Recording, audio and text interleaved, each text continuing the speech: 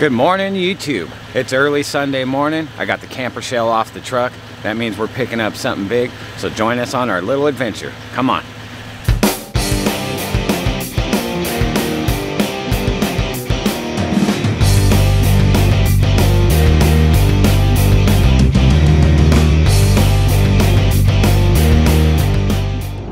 So good morning everyone. Uh, today we're going up to Freedom Breeders facility they're a couple hours north of where I live in Bakersfield.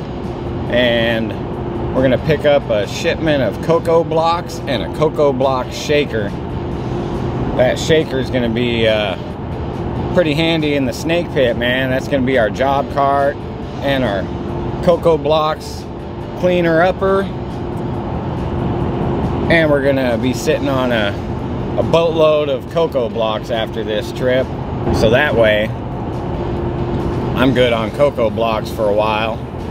And if anyone needs some in the local area where I live, you know, they can come and pick some up for me.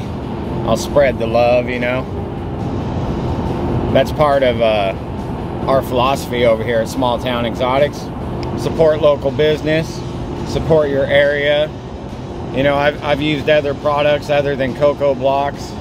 I've found Coco Blox to be the the superior product and they're semi-local to me. Like I said they're just a couple hours north of me and uh, you know who doesn't know who Freedom Breeder is you know? They got the best racks in the business the best substrate in the business.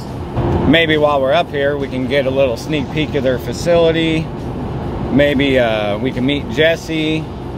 I don't know if any of you watched the Reptiles Unplugged episode where I was on, but you know, part of my philosophy is doing my business for Small Town Xotics face to face. And that's how you develop relationships in our community, you know, and uh, get a better network established. You know, think about it.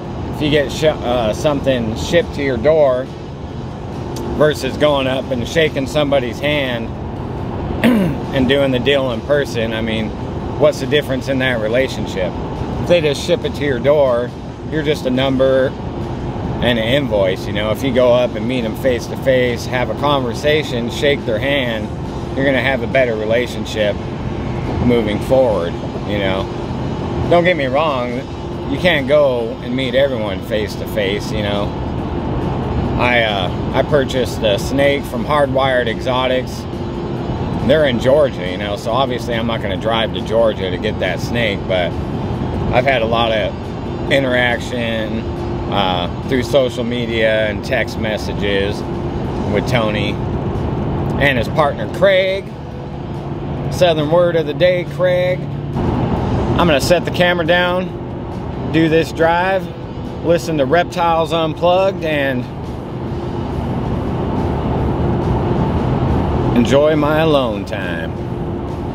All right, we're here at the world famous Freedom Breeder. You may know this guy behind me. Let's get a little, there's the famous warehouse where the best racks in the world are made. And what else do you guys have that's the best? What am I picking up today, Jessy? Some Coco Blox, y'all. And we also got the shakers, the cocoa block shakers. He's getting one of them. He's gonna be very excited once he uses it. He doesn't even know what he's in for. Let's go check it out. All right. There it is. Best racks in the world, best substrate in the world, and the Cocoa Block Shaker.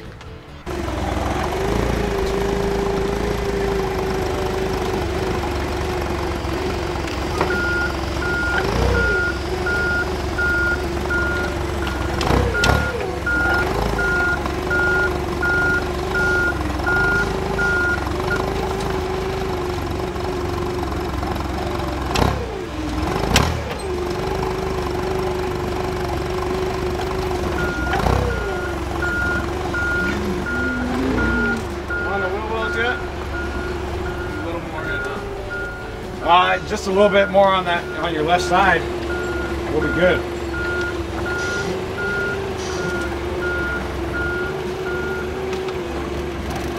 Yeah, you're good right there.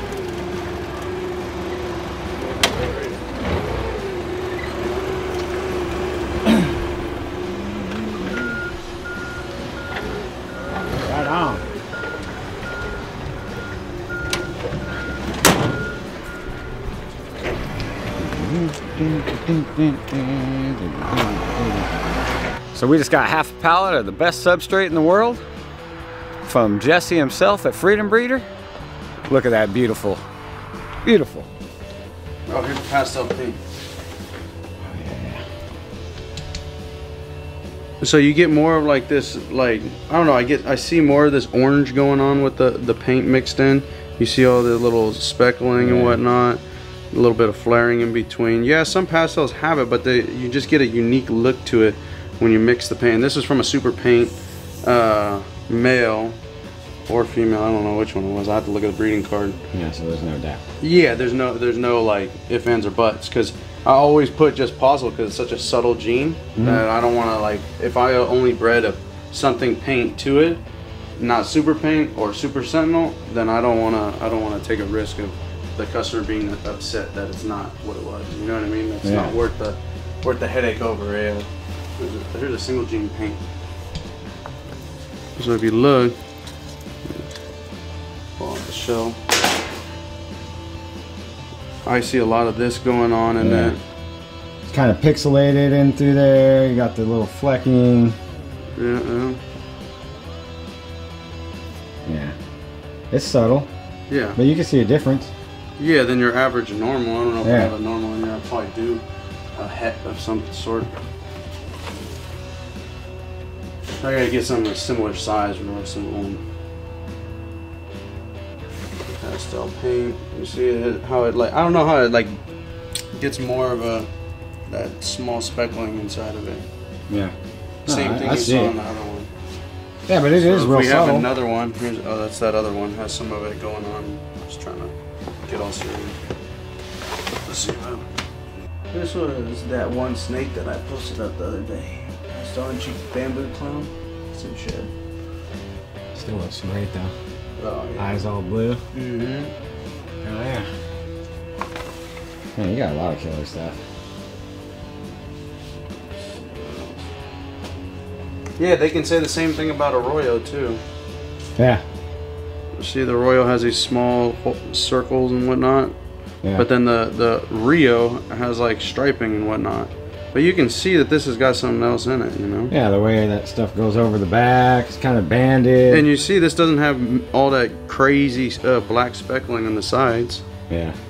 See, this is a this would be a Paso Rio, a, a Royal, sorry. You see, you got this, but you don't see the blacks. Look, Yeah.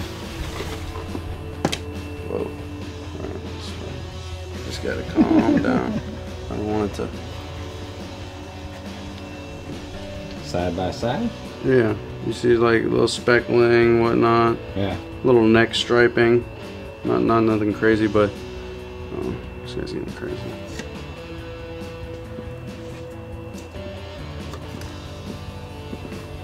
No.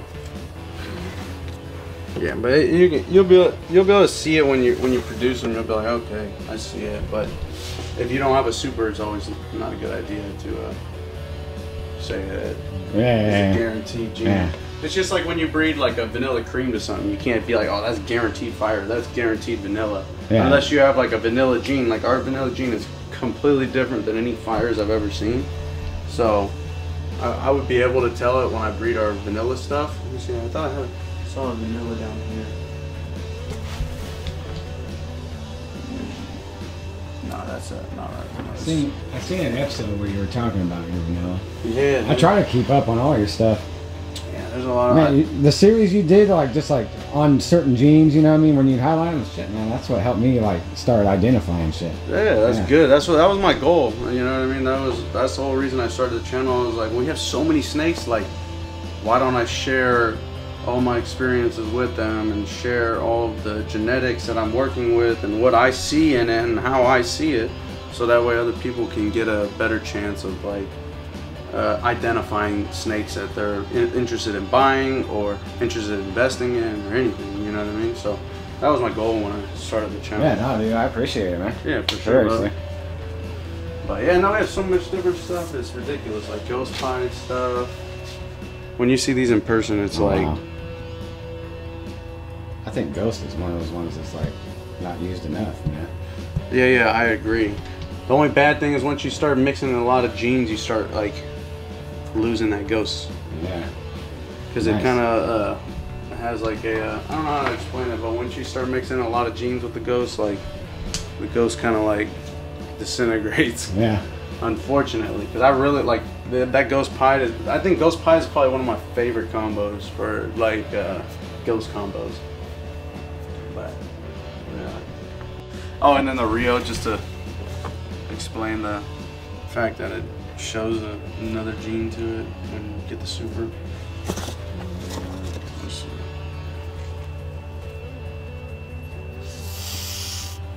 Yeah, look at the hooks. Mhm. Real nice looking. How's it look on the camera? Looks pretty good.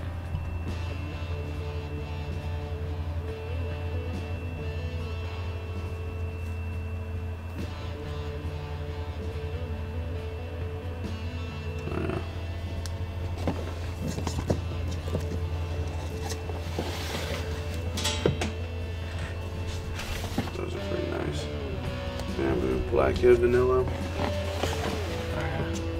And then I had another vanilla one, bamboo cinnamon vanilla. Which is also fucking crazy. That's badass. I like that one. Yeah, and then that's the one with blackhead. Yeah. Real nice.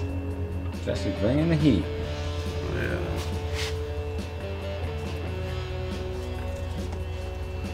You said you were trying to get a nanny, right? Well, I like it.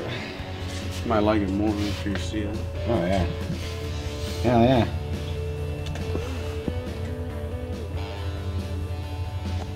Maybe. But that's that, that super quake stuff. All right.